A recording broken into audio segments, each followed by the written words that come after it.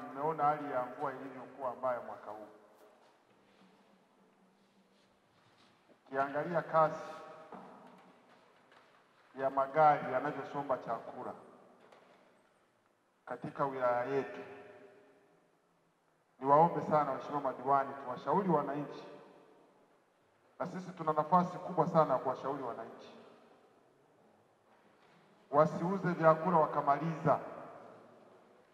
Maroli sasa hivi na maroli yanaingia mashambani, watu wanavuna mipunga inaondoka, na mmesikia hali ya Morogoro, mashamba yameenda na mvua. Ukienda Rukwa, mashamba yameenda na mvua. Ukienda Lindi, mashamba yameenda na mvua.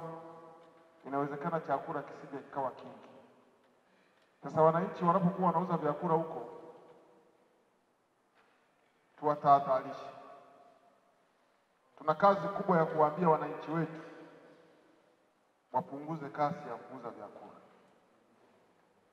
na hata kama anauza basi aache akiba, ajue familia yake inatumia kiasi gani.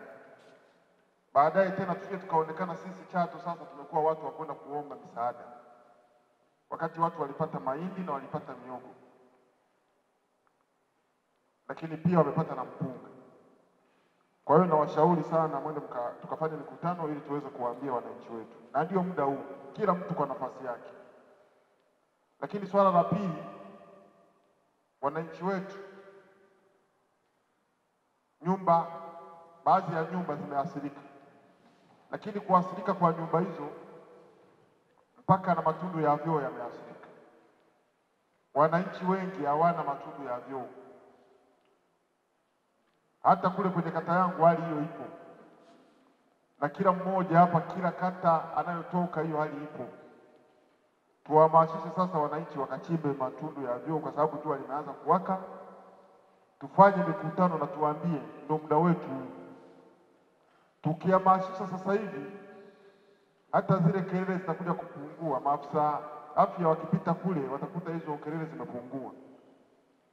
Kwa hiyo muda tukaufanyie kazi, lakini pia tukafanye mikutano ili tunapokutana kwenye robo ya nne, angalau kwenye kata zetu kule kuwe salama.